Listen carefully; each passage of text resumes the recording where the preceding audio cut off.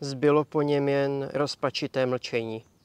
Když se mu udělalo zle, lehl si na zem.